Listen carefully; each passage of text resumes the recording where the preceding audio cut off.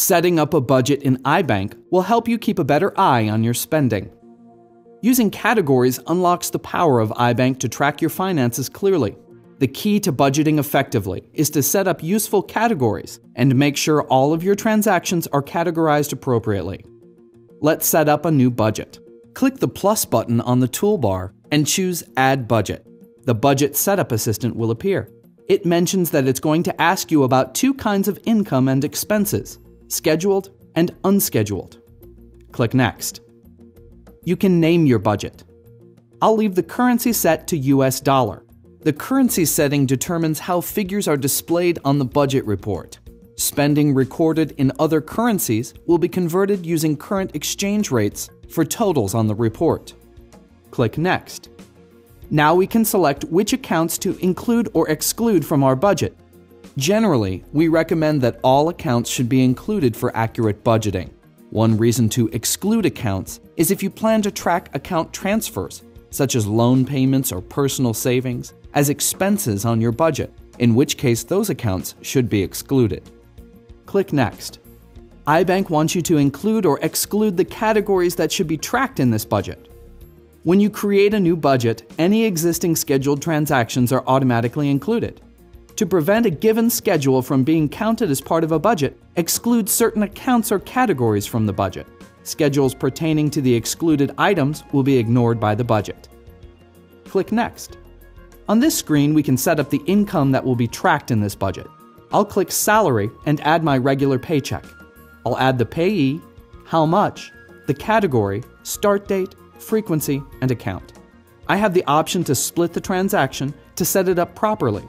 Under Options, I can control the scheduling and notifications for this scheduled transaction. Click Done with this income. On the next page, we can click the plus button to set up any other income, such as an annual bonus, miscellaneous scheduled, or unscheduled income if you don't get a regular paycheck. Click Set up expenses to move to the next step. Here we can add bills and expenses. Bills are expenditures that repeat on specific dates, like rent, utilities, etc. Expenses represent your monthly spending in a category that's not on a specific schedule, such as groceries, entertainment, and clothing. I'll click Add a Bill. Here, I'll simply add an amount, a frequency, and a category, and I'm done with this expense. I'll repeat this for every bill and expense I'd like to track in my budget. When you create a new scheduled budget item, income or expense, iBank also creates a scheduled transaction for it. An unscheduled expense does not correspond to a scheduled transaction, such as groceries. I'll just create a spending target set for the frequency I'd like.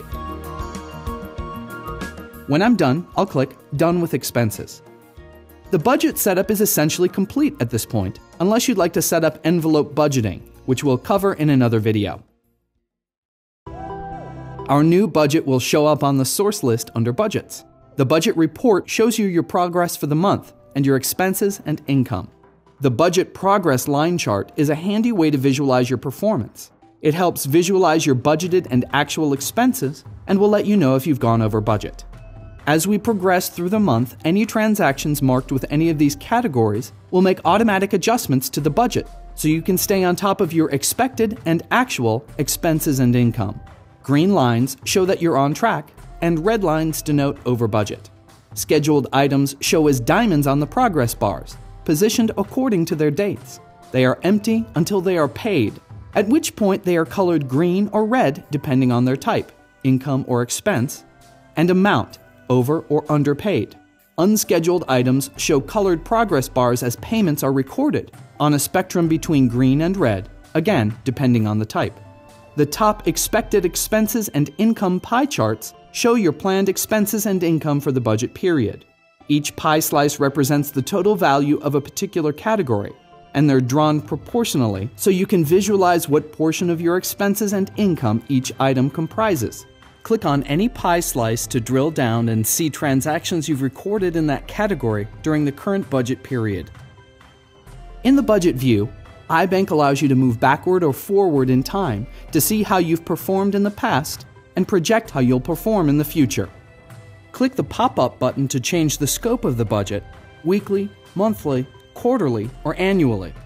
When navigating the budget report back and forth in time, you can make changes at any point in time. To edit a budget, you can either click the Edit button to the left side of a category to add or change an unscheduled target starting from whatever time period you are viewing, or you can click the gear shaped Action button and choose Edit Budget to walk through the assistant again, which also records changes starting from the time period you are viewing. iBank 5 now tracks the history of your changes. So, for example, if you expected to pay $100 for fuel last month, and this month you change the expected amount to $200, when you view last month, you will still see that $100 was expected. The changes you make to scheduled and unscheduled budget items take effect at the beginning of the time period you are viewing and affect all budget periods after that.